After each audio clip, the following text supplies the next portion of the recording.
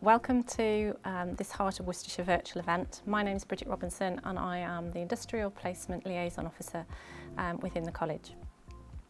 So this session I'm going to talk about T levels, um, what they are and um, what the difference are, differences are between the different qualifications.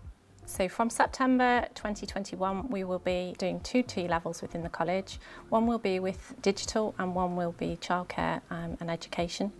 The T-level is the new technical qualification and it's being phased in across the country. It will become one of the main choices for post-16 uh, alongside the A-levels and the apprenticeships. It's the equivalent to three A-levels um, over two years and it's been developed in collaboration with business and employers um, to ensure the content prepares learners for the workplace and meets industry needs. In total there's going to be 24 T-levels over the next four years. Gives you the opportunity to develop your employability skills at the same time, as well as developing the technical skills that you're going to be learning at college. The skills and the knowledge will split into core and specialised units, and both of those will, will be delivered over the first and the second year. T-levels will involve 80% of your time in the classroom or a specialised facility, learning the theory and developing those practical skills. But the other 20% is going to be spent in the workplace, putting all of that into action. Um, and that's, that includes 45 days placement.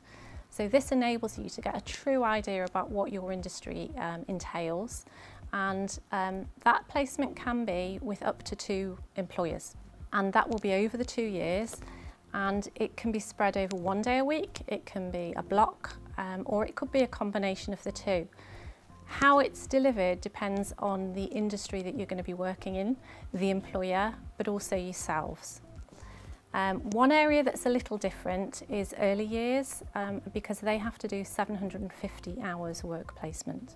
It is unlikely that you're going to be paid on your placement, but support for travel would be um, generally available if it's really required.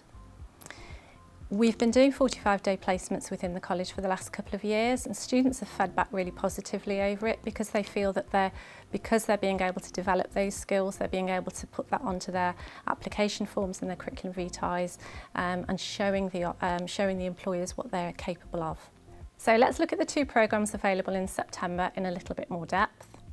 Um, the first one is the digital production design and development and this is going to be aimed at learners who want to be digital software developers. The core content will be taught in year one um, and it looks at how digital designers and developers need to serve their customers, how they analyse the user needs, um, how they show an awareness of the legal and ethical factors when they're developing software. The specialised, specialised units um, will be within a an extended project whereby le the learner needs to work with a specified user or user group and they're given a scenario, they have to analyse the problem and they have to design the solution and then they have to um, test and evaluate how effective that solution's been.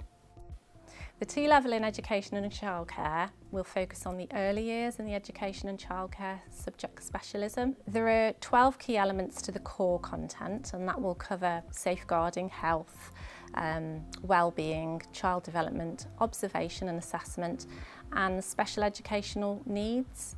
Um, while the specialisms will focus on supporting and promoting children's play, development of the early education and development of relationships with children to facilitate their development. If you're interested in finding out any information, any more information about either, either of the T-levels that we've talked about or T-levels in general, um, then feel free to join us on our open event. Um, it's a question and answer drop-in session, which will be live on Tuesday the 20th of October and Thursday the 22nd of October between 5.30 and 7pm. Thank you for making the time to join us and goodbye for now.